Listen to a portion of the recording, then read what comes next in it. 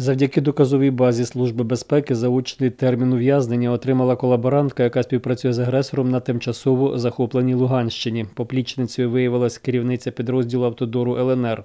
Вона добровільно пішла на співпрацю з ворогом та керує транспортними перевезеннями на тимчасово окупованій території. За даними слідства, з березня 2022 року чиновниця очолила посаду відокремленого підрозділу Республіканського центру організації перевезень. Під її керівництвом здійснюється транспортна логістика окупантів. Вона безпосередньо бере участь у наповненні так званого державного бюджету ЛНР та напряму взаємодії з представниками країни-агресора. На підставі зібраних доказів службою безпеки суд визнав зловмисницю винною за частиною 4 статті 111 прим. 1, тобто провадження господарської діяльності у взаємодії з державою агресором. Їй призначено заочно 5 років тюрми з конфіскацією майна та з позбавленням права обіймати певні посади на 10 років.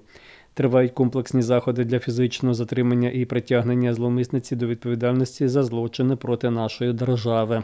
Розслідування проводили слідчі СБУ Черкаської області за процесуального керівництва обласної прокуратури.